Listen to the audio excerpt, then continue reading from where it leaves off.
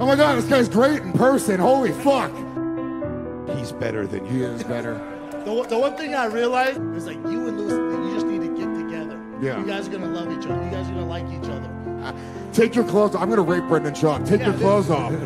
I bet your dick is fucking I got a heavy. nice. It's Yeah, weather. yeah. It's weather. He's got a fucking heavy fucking piece.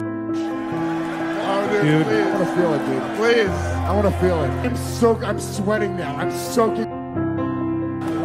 I like that very much. That's it. That is adorable. That's love. Fucking adorable. How long have you guys been together? How long has this been going on? 12 years. Wow. We're friends before we were comedians. I'm, One of my favorite things in the world with Luis and Schaub and the cuteness of their relationship. thank you, Brendan. Brendan, why are you such a fucking sweetheart? Why does everyone hate you so much? What is I know. happening? I know. What is wrong with you people? He couldn't be any nicer.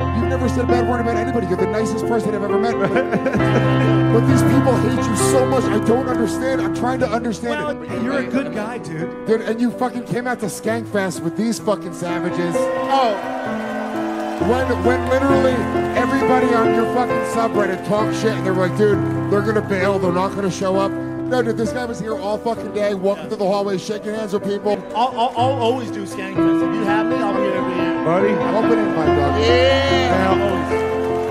Now- Always. I think I speak for Bryan when I say you pick yourself up by the bootstraps, you get in a Lamborghini, and you fuck the hottest chick you want to here in Las Vegas tonight.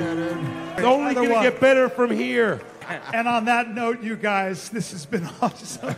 We love you guys. God Thank you. bless you, Thanks, Skankfest. Big Jay, Dave, Luis. Thank you, brother. Thank you guys.